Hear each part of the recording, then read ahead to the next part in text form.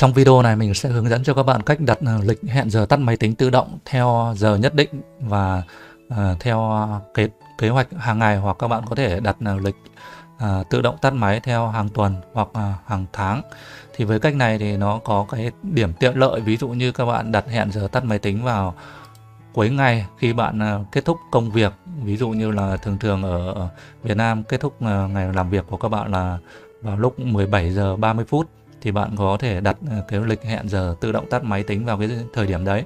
Trường hợp nếu như bạn đang sử dụng ờ, máy tính mà bạn có công việc chạy ra ngoài thì các bạn cũng ờ, không lo là không có người tắt máy, bởi vì cứ đến giờ đấy là máy tính của bạn tự tắt.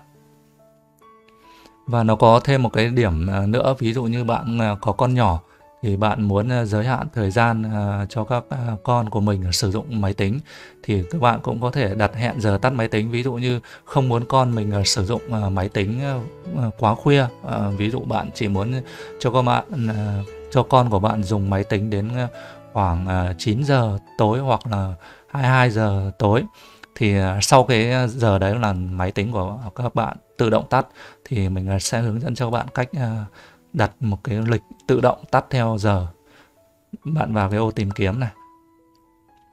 Bạn gõ từ khóa tìm kiếm.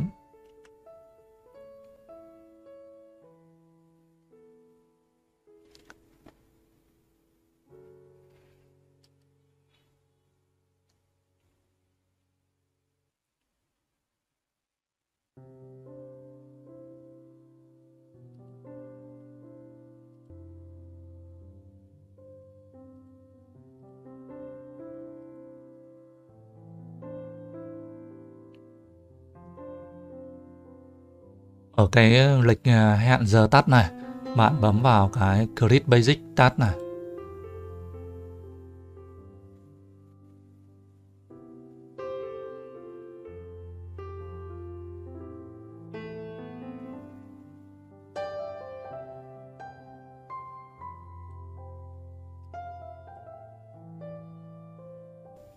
Ở phần name này, bạn có thể đặt là tên, ví dụ mình đặt là auto tắt down chẳng hạn.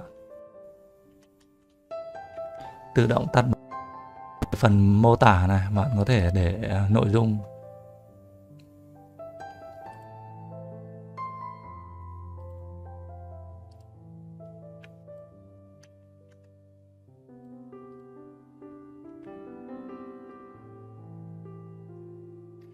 Ơi mình cái nội dung là tự động tắt máy khi mà cái công việc của bạn kết thúc vào lúc 17 giờ 30 phút uh, thì máy tính của tự tắt. Tiếp theo thì bạn bấm next.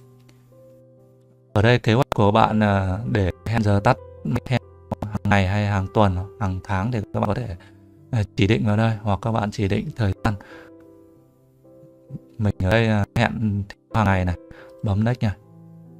Ở đây bạn uh, ngày bắt đầu uh, thực hiện cái công và kết thúc đây mình sẽ chọn là 5 giờ 3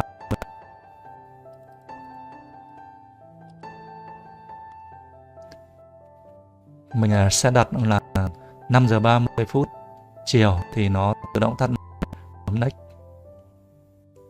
ở đây bắt đầu thì nó sẽ chọn cái um, file shutdown các bạn bấm này. hành động. Ở đây bạn bấm vào round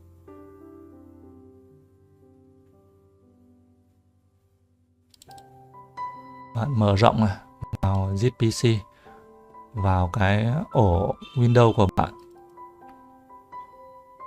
Vào Windows ở System 32 nhé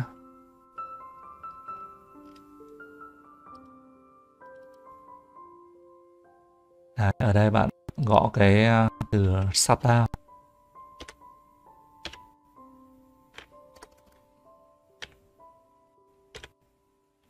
bạn gõ cái từ shutdown.exe bạn chọn cái file thực thi này.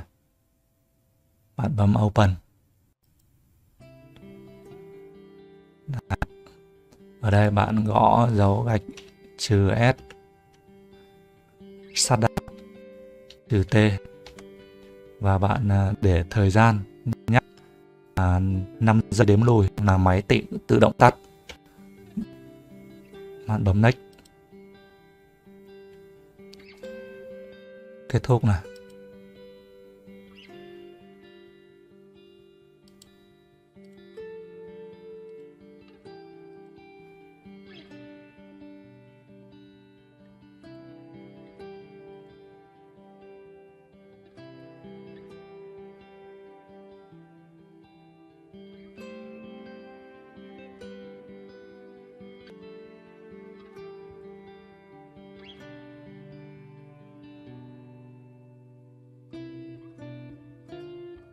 ở đây bạn muốn ờ, chỉnh sửa thay đổi.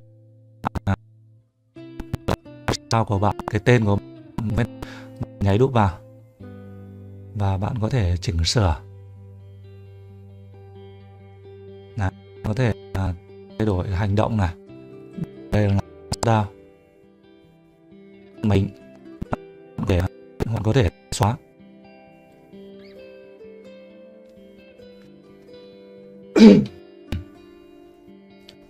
Ở đây cái đồng hồ mình đang là 1 giờ 29 phút. Thì mình ờ, sẽ lựa chọn ờ, 40 phút thì mới tính tính động mình sẽ chỉnh sửa.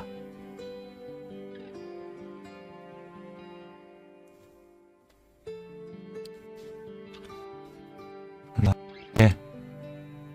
Ừ, vừa 4 giờ 30 rồi.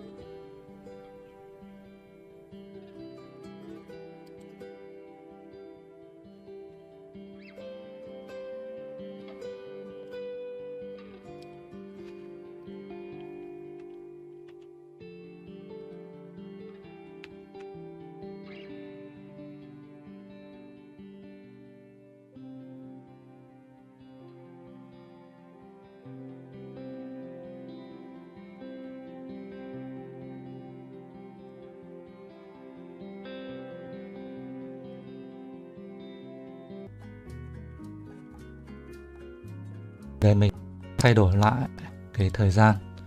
Vì ở đây 4 giờ 30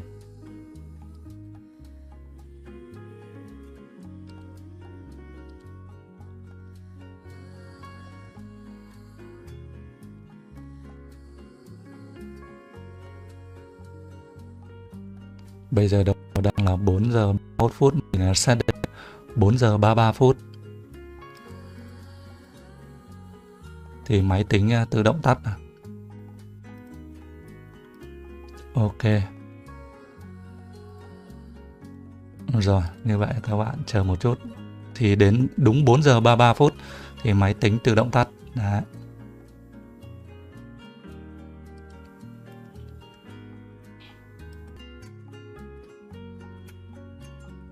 Đấy, như vậy là các bạn thấy à, đúng 4 giờ 33 phút thì máy tính tự động tắt.